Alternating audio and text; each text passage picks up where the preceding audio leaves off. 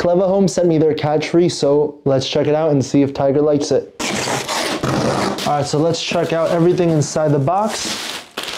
So right here, we're gonna have a parts list. Here's some hardware, and here's one of the fluffy pieces for my cat to sit in. We got three blue rods, a heavier cat bed with some wood on the inside, and also some balls, three scratching posts, and finally the base and the remainder of the platforms. And here's a quick look again at everything that comes inside the box. All right, so the first step is to build this section here. So we're gonna need both these wooden pieces, three of the rods, and this top part.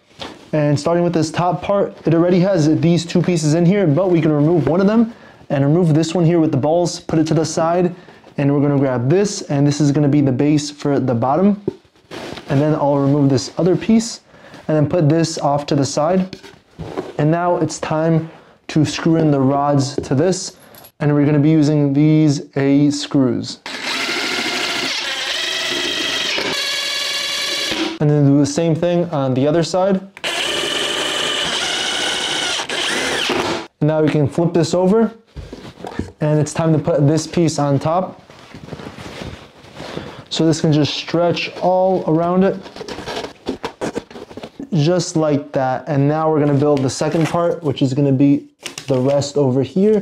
And we're gonna start with the base. So this can be flipped upside down and the base can be put right on top. And we're gonna screw in right over here and we're going to be using this small screw.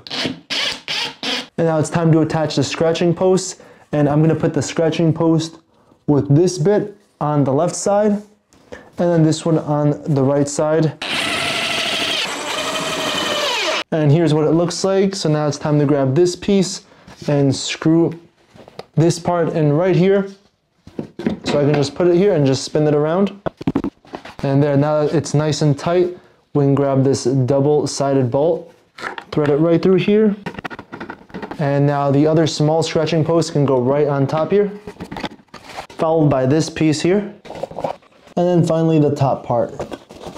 All right, so here's the finished cat tree itself. It ended up looking real nice, and I love the blue color, and even Tiger is interested in it so far.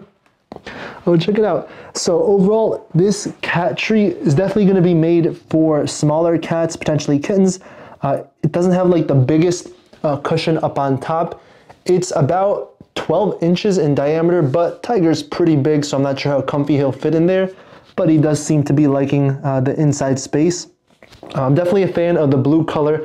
As you see, this room is basically blue themed. I got the blue wall, the blue rug, and now the blue cat tree. So here's gonna be the first story, and then we got the second story, followed by the third story, and both these are gonna be the same size, and we do have two balls with this elastic, just in case he wants to play, and then there's this small scratching post, and then these two larger scratching posts where you can stretch on it a little bit more. And here you can see he looks like a giant on this cat tree, and so yeah, this is definitely going to be made for much smaller cats, probably kittens, uh, because he's a little bit too big. He's about two years old.